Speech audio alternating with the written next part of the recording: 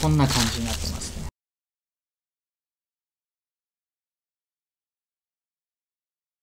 いただきます。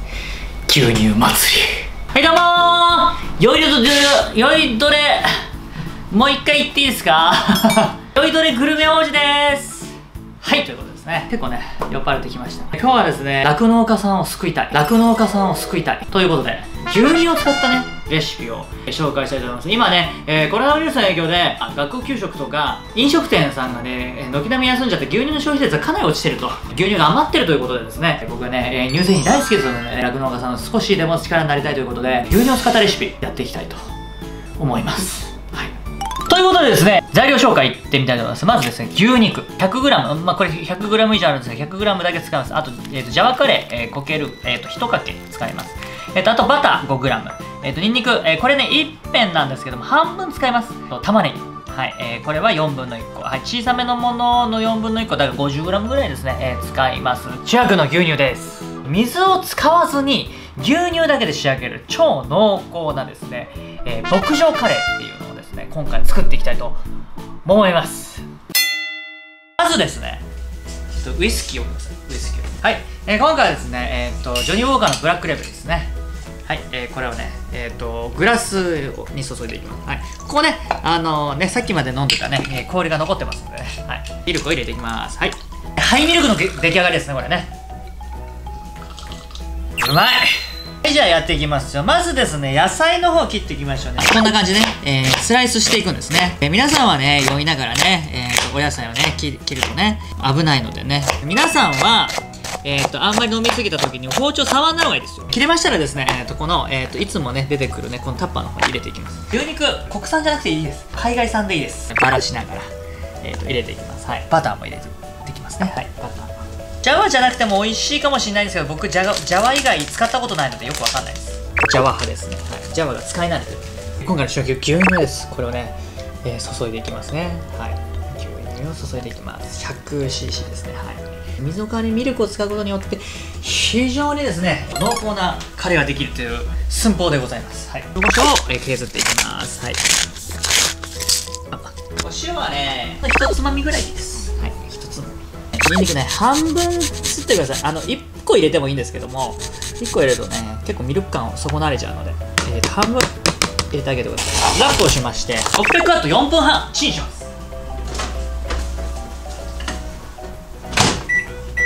今ね温めてる途中なんですけども、えー、この間にもやることがあります。はいになっていきます。ウイスキーの牛乳がうまいよ。牛乳を飲もうぜ。できました。熱いんで気をつけてくださいねこれね。はい。こんな感じになってますよーく混ぜます。ルーがね、えっと、溶けきらないと、えっと、味がばらつきができてしまうので混ぜてください。カレーのいい香りの中にこのまろやかさあの優しいミルクの香りもねすごいね漂ってきます。この感じになったら、まあ、ちょっと置いといてご飯用意しますね。カレーの方を持っていきたいと思います。はい香りがいいですね非常にね。牛乳を使うことでですね煮込まなくてもねカレーにすごくコクが出てくるんですね。牛乳消費していただきたいっていう風に言ってるんですけども普段に食べていただいてもえんやで普段使いしていただいてもえんやで。そしたらですね、えーと、このご飯の部分にあの、まなければ別にいいんですけどパセリをかけていただいて、はいえー、少しね見栄えをね。なんで牧場カレーっていうと牧場で作られるものばかり使ってるからなんですね。牛肉とかねバターとかね。粉チーズもね少し振っていきたいと思います。これがねコクと香りをねまた増してくれてね非常にね、えー、相性がねいいんですよ。レンジでできる超簡単濃厚ご牧場カレーの完成でございます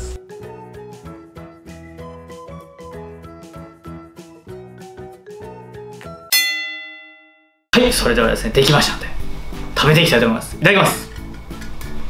いただきます。牛乳祭り。いただきます。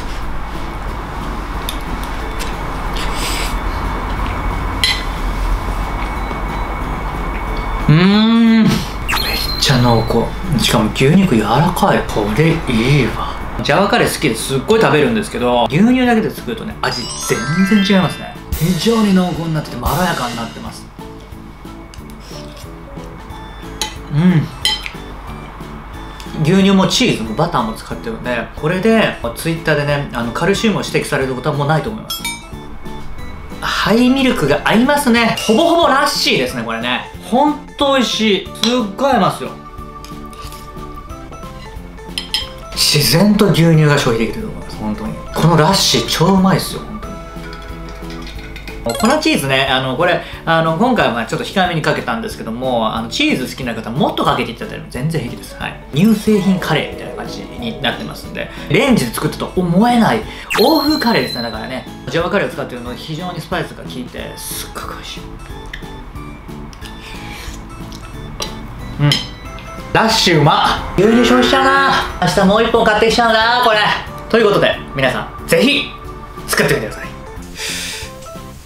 ということですね、えー、今日の動画いかがでしたでしょうか？楽しく料理をして美味しいもの食べようっていうとこだけですのでこういうところにですねいいなと思っていただいた方こういう料理やってみたいなっていうふうに思った方はぜひ高評価およびチャンネル登録、えー、よろしくお願いいたします。